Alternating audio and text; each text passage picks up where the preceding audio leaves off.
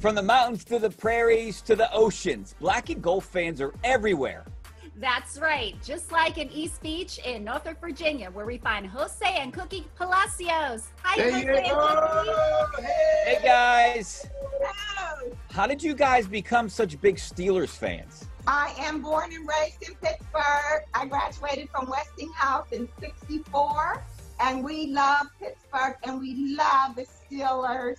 We love the Pirates and the Penguins. We are still a Penguin, Pirate, bred. Woo woo!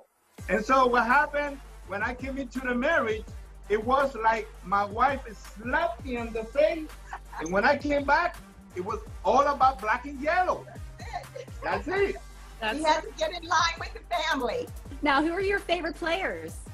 I'm Polamalu. I'm I'm Bus. I'm Terry Bradshaw. All the old line too, but I love Polamalu and Hines Ward. Mine all the time, 24-7. Hines Ward is my player. I represented it. I have it in my garage. I go everywhere and I tell everybody about my boy. That boy bring me the best ever, ever, right. ever, ever joy in my heart. I love Hines Ward. Now, Jose, as you know, it's Hispanic Heritage Month. So not only are you repping the 412, but you're repping Hispanics everywhere. Are there a lot of Hispanic fans supporting Pittsburgh sports? Yes, we have a lot of Mexican people. A lot of Mexican, my family. I I kind of brainwash my grandkids, my little my little grandkids. They crazy. Jose uh-huh. and Cookie, we really appreciate it. Thanks for your time. Thank you all. Go Steelers! There you go. Go Steelers. Vamos, acereros. Growing up in Pittsburgh, you have no choice but to love sports. Uh, that's why it's always black and gold. It was always about sports, um, and also the consistency of, you know, the Steelers, Penguins, Pirates in the same colors. So that helped. We have the Yinzer steak sandwich, which is kind of a riff between a Philly cheesesteak and a Primanti's. We kind of made a love. It's like they had a love child. We uh, start our cheesesteak here, which is better than Philadelphia cheesesteak, we think, around here. They open a jar of Cheez Whiz and put it on something they get frozen and make a sandwich out of it. They probably buy their bread frozen too. So we start off with uh, a short rib, which uh, we trim and shave by hand, season with olive oil and salt and pepper. So we start that on the grill. Uh, we use fresh local bread from Redworks and then a real steak instead of little thin slices of stuff. And we make a cheese sauce, like Gouda cheese sauce, so it's not, it's all fresh Pittsburgh. We're going to add a little bit of Lea & Perrins Worcestershire sauce for flavor. Not much. Gonna toss that around. Two slices of provolone cheese. We choose short rib, and I think other people should choose short rib because you get a richer, deeper flavor in the meat. Horseradish sauce coleslaw.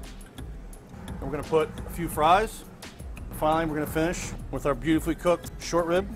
And finally, we got our ladle of Gouda cheese sauce, which is a little green onion on top, just to give it some color. There you have it, the Yinzer cheesesteak at the Warren.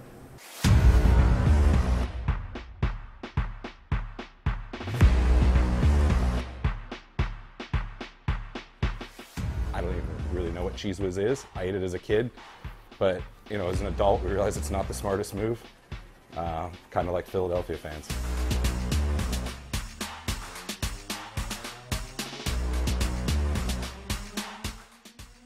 You can't tell me there's a better cheesesteak in Philly than the Yinzer cheesesteak in Pittsburgh.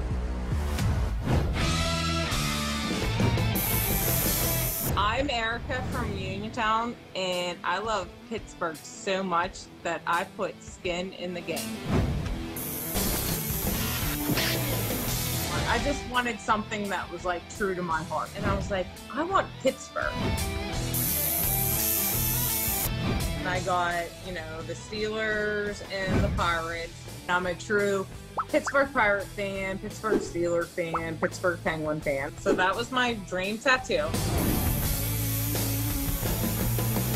My favorite pirate player is Andy Van Slyke. I think I liked him more of his looks rather than his uh, ability, but my goal is once I gain enough gumption is to continue it on my left arm and get the penguin. And I do want to continue it with the red trolley for the incline